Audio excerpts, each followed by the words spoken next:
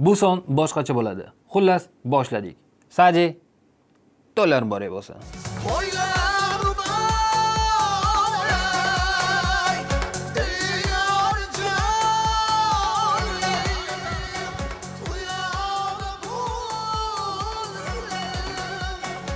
bu nima obzor ertaga chiqishi kerak to'y to'y qilib yuribsanlar halitdan beri ha o'ylanaman keyingi yil o'ylanaman bu yil emas Xo'sh, bu nima ekan? Ikkita Oppo A78, lekin nega ikkita hozir bilib olamiz.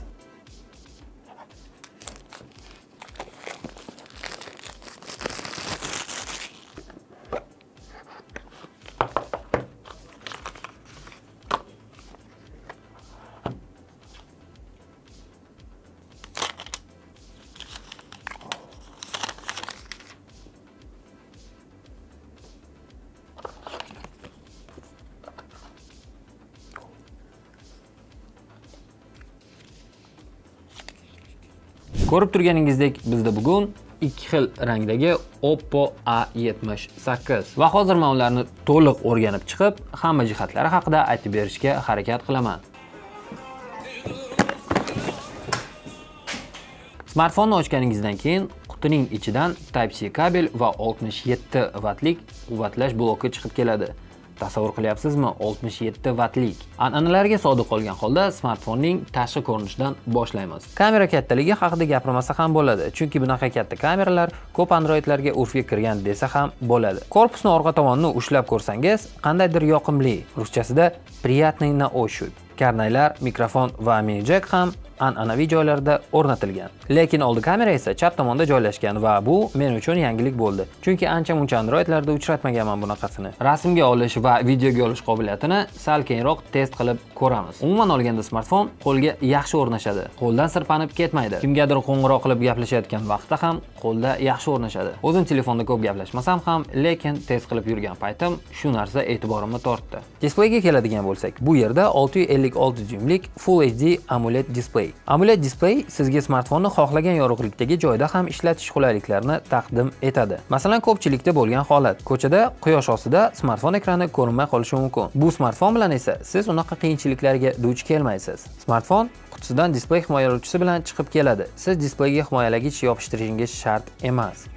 Himoya haqida gapirishni boshlagan ekanman. Shuni ham aytib o'tishim kerakki bu smartfonda IP54 himoyasi mavjud. O'zi bu smartfon qimmat smartfonlar segmentiga kirmaydi lekin shunga qaramasdan uning displeyining yangilanish tezligi 90 Hz bu esa yaxshi jihat smartfonda Face ID va barmoq izi skaneri mavjud va shuni aytib o'tish kerakki ular rostdan ham tez ishlaydi. Kameralarga ham yetib keldik. Bu smartfonda korpusning orqa tomonida 50 va 2 megapiksellik kameralar mavjud. Lekin afsuski, keng burchakli kamera bu yerda mavjud emas. Frontal kamerasi esa 8 megapiksel. Mana bu esa shu smartfonni kamerasida olingan rasm va videolar.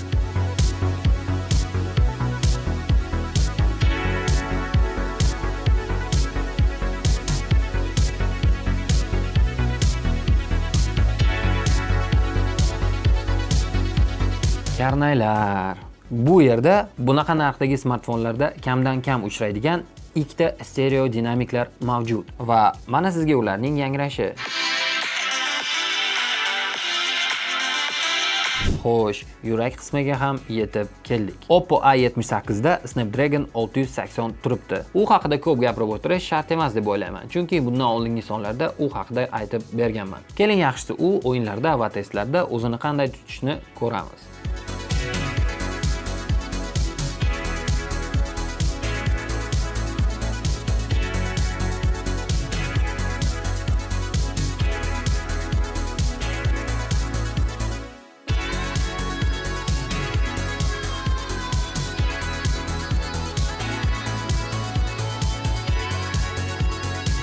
Ana endi xotiralar haqida gapirsak.